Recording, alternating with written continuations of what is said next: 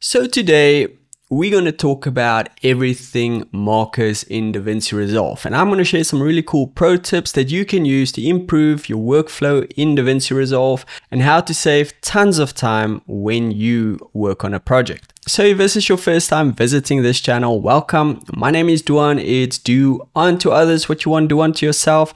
And on this channel, we talk all about DaVinci Resolve and video production. Now, let's start off with this very important question. Why would you want to use markers in your project? It's simple. You want to use markers on your timeline to mark points on your timeline or to mark points on a specific clip. You want to use markers to indicate maybe a start point of multiple clips that you want to sync up later and use it as a multi-clip. Or you might want to create comments for yourself or for an editor later to make some changes in a certain section. And then you can also drag out the markers to indicate sections on your timeline or to maybe indicate a part that you need to work on a little bit later. And lastly, you can actually draw onto the video to indicate to yourself or to another editor something that you need to change, take out or remove in your DaVinci Resolve project. So with that in mind, let's dive in. So there are three different ways to add markers to your timeline and you can add it either to your clip, to your actual timeline or to a clip in your media pool. And the way to do that is to first of all select the clip that you want to add a marker to. You can either click the marker button in your toolbar or you can simply press M to add a marker.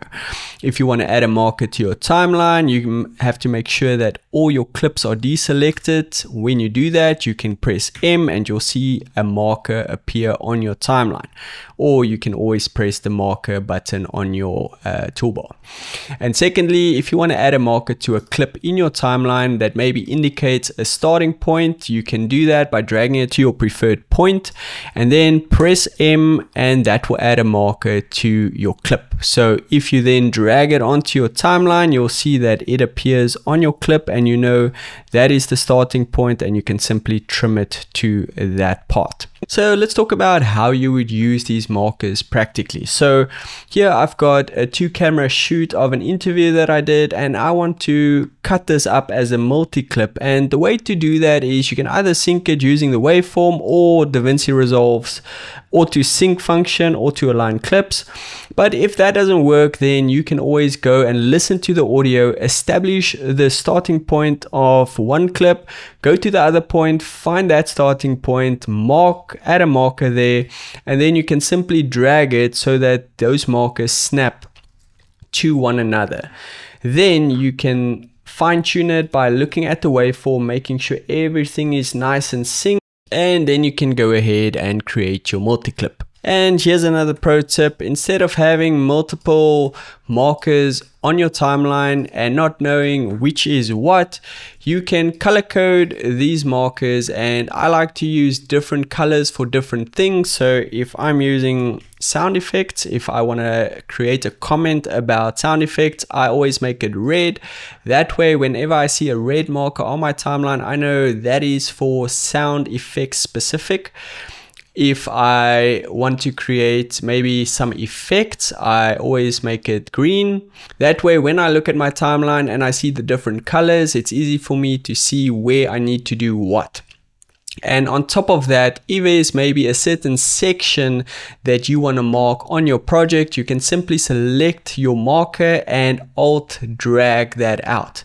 And that will add a red marker to that whole section. And then if you want to add chapters in your project, you can do so by alt dragging, or you can just press M twice to open up this box.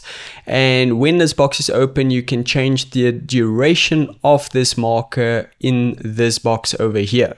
And then for my last tip, if you want to create pictures or arrows on the actual picture to indicate something either to yourself or another editor, simply go and activate the annotations uh, option under the transform window.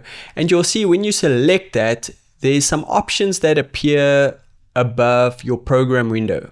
Here, when you select that, you can draw onto the picture. So if I want to maybe make a comment about this logo here, maybe take that out, I can either write it with my pen or I can actually just double click the marker and write a note. Take out. On top of that, if I want to add an arrow, I can also just drag to the point that I want to point out.